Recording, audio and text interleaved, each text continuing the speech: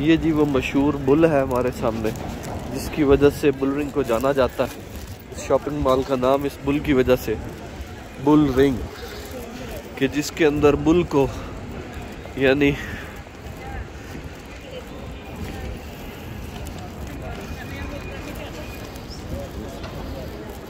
ये इसकी एक तरह से मेन एंट्रेंस भी है।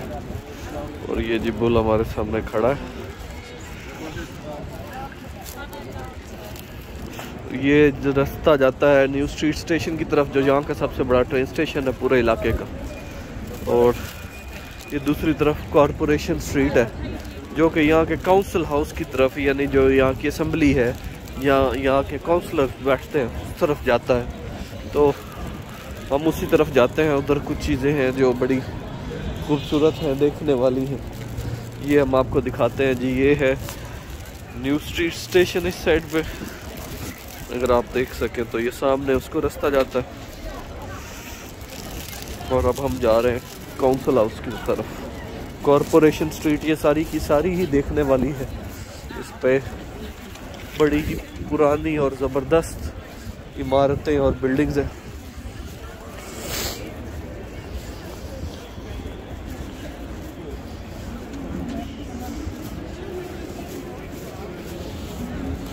ये हम अब कॉरपोरेशन स्ट्रीट पे आ गए।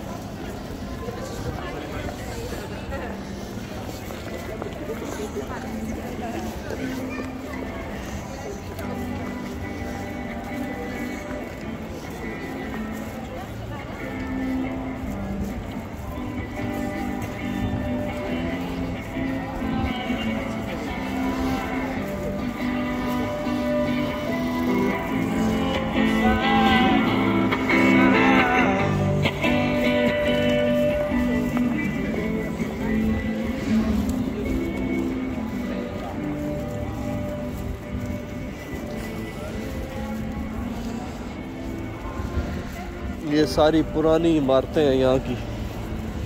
सारा ओल्ड ओल्ड इलाका जो किस ज़माने में बर्मिंगम हुआ करता था।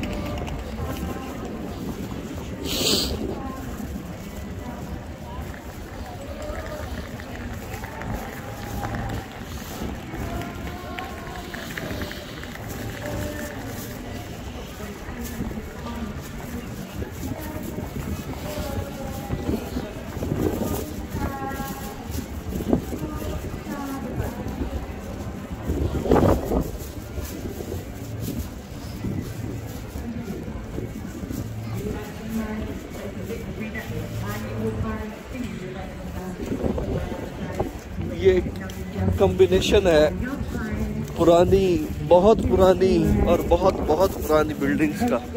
कुछ इमारतें यहाँ 500 साल पुरानी है कुछ चार सौ साल पुरानी और कुछ बिल्कुल नहीं है।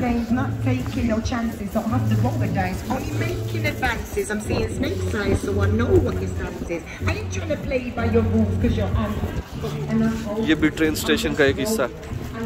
ये बहुत बड़ा ट्रेन स्टेशन है। यहाँ के सबसे बड़े ट्रेन स्टेशनों में से एक है।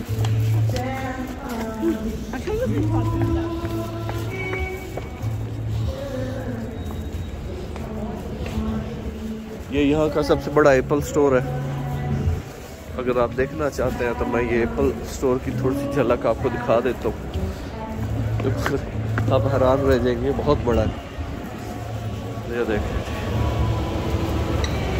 खूबसूरत इमारत है और लोग अपने एप्पल फ़ोन्स देख रहे हैं टैबलेट्स कंप्यूटर्स एवरीथिंग यहाँ पे और ये अंदर जाके ऊपर भी जाता है। चले अब हम अपनी पुरानी मंजिल की तरफ़ चलते हैं जो कि है काउंसिल हाउस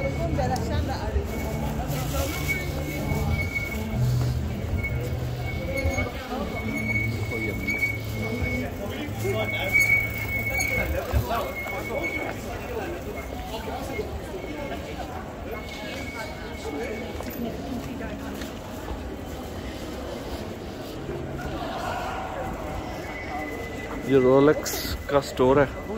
इनकी एक एक घड़ी मतलब पाकिस्तानी रुपए में अगर काउंट की जाए तो 20 20 25 25 लाख 30 लाख, इसके करीब तकरीबन इसकी एक एक घड़ी की कीमत होती है।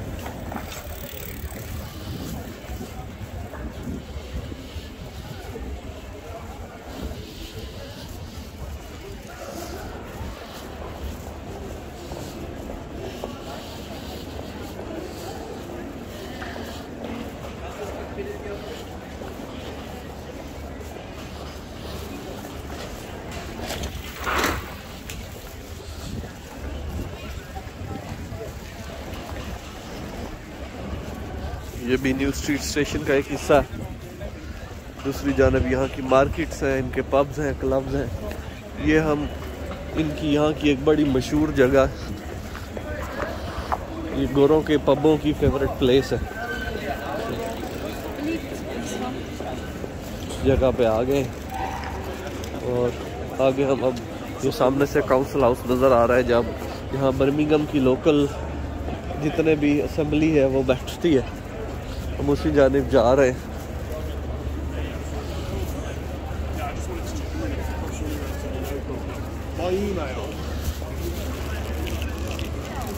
जैसे कि मैंने बताया है कि यहाँ पुरानी, बहुत पुरानी और शदीद पुरानी बिल्डिंग्स का इम्तजाज है। ये लोग अपनी हिस्ट्री को, अपनी तारीख को सेव करने की कोशिश करते हैं कि जो पुरानी बिल्डिंग्स हैं उनको भी गिराया ना जाए। और जहाँ खाली जगह है, वहाँ नई इमारतें बना ली जाएँ और सड़कों को भी पुरानियों को कायम रखते हैं ताकि तारीख जो है, उसको महफूज रखा जा सके।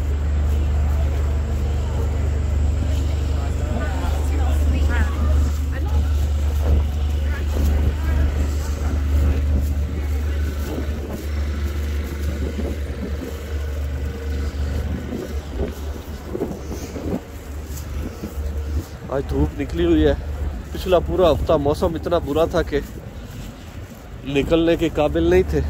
तो आज मौसम का फ़ायदा उठाते हुए हमने अपने बर्मिंगम के सैर का प्लान बनाया जो कि अल्हम्दुलिल्लाह I am enjoying it a lot lot. I'm quite happy. It's uh, going good for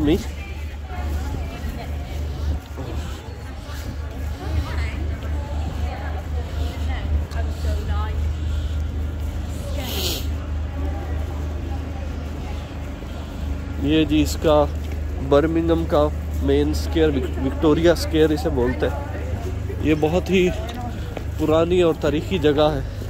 ये काउंसिल हॉल है सामने, जहाँ पे जो बड़े मेन इवेंट्स वगैरह होते हैं। और ये काउंसिल असम्बली है, जहाँ पे यहाँ के काउंसलर्स बैठते हैं और इलाके के तमीर, तरक्की के काम करते हैं, उसके बारे में सोचते हैं।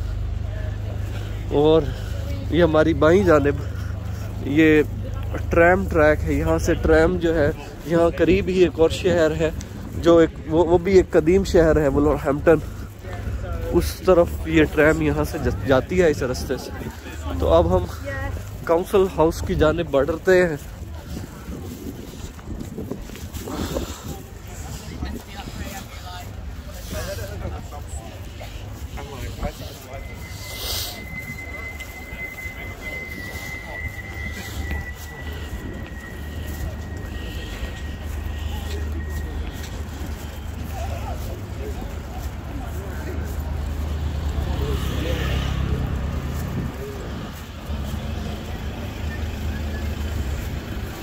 ये टाउन हॉल भी यहाँ की एक पुरानी कदीम तरीन बिल्डिंगों में से एक है। ये देखें जी, ये जो काउंसिल हाउस की साइड है, ये कितना लंबा है, आगे तक फैला हुआ है।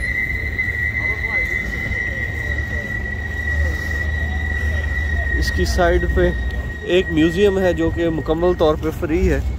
हम उसमें जाने की कोशिश करते हैं अगर इन्होंने, क्योंकि मेरे हाथ में शॉपिंग बैग भी है, मैंने शॉपिंग भी की है। तो देखते हैं कि मुझे अंदर जाने भी देते हैं कि नहीं जाने देते चले let's see how it goes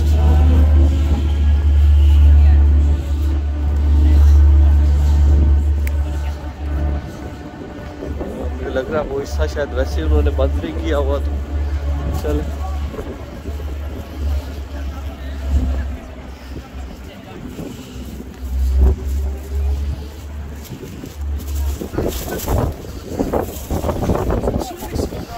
सारे के सारा यहाँ की काउंसिल हाउस का हिस्सा है।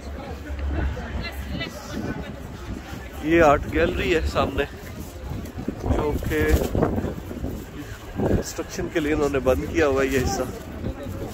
तो इंशाल्लाह फिर कभी किसी दिन इसकी भी सैर करेंगे। पहले मैंने की हुई है, लेकिन मेरे ख्याल से अंदर शायद वैसे भी मुझे रिकॉर्डिंग ना करने दें उसके। लेकिन चलो, उसकी एंट्रेंस वगैरह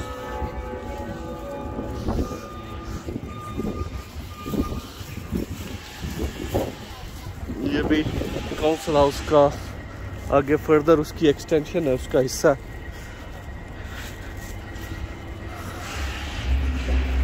Congreve Passage.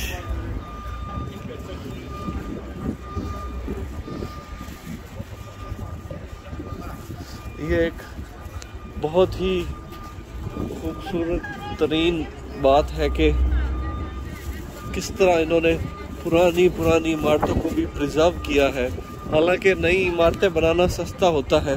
पुरानियों को मेंटेन करना नहायत ही मुश्किल हो जाता है, क्योंकि वो गिर कर टूटने लगती हैं। लेकिन इन्होंने अपने तारीखी विरसे को कायम रखने के लिए इन इमारतों को मुनहदम नहीं किया, बल्कि इनको भी कायम रखा है। चलें, ये आपको टाउन सेंटर की मेन मेन अट्रैक्शन सारी मैंने अब दिखा दी। अब दूसरी जानब जाता हूँ शहर के तो वहाँ से एक और वीडियो बनाते हैं।